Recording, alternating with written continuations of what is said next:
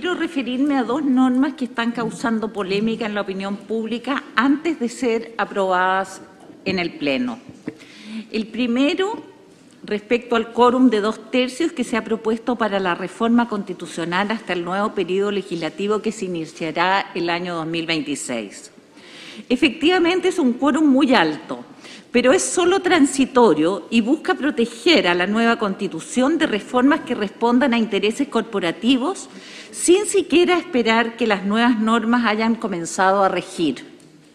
Sin perjuicio de lo anterior, nuestro colectivo no tendría problema en bajar este quórum, ya que sin duda puede haber errores en el texto, pero dejando claramente al margen de cualquier reforma los derechos fundamentales, el sistema político, la nueva forma de Estado que, se pone, en pone en marcha la descentralización y que esto solo comenzará a regir a partir del año 2026.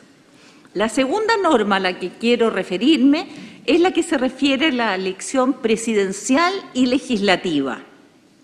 Quiero recalcar nuestro apoyo a la norma que impide al actual presidente de la República, Gabriel Boric, reelegirse al final de su mandato. Esto no es lo habitual en nuestro continente y da cuenta que esta Constitución no es un traje a la medida de ningún sector político específico. Por último, subrayar nuestro apoyo a la elección de la totalidad de los representantes regionales en la Cámara de las Regiones en noviembre de 2025, lo que significa poner fin al actual Senado. Esto afecta a los senadores elegidos recientemente. Sin embargo, esto estaba previsto en la reforma constitucional que dio inicio a este proceso constitucional.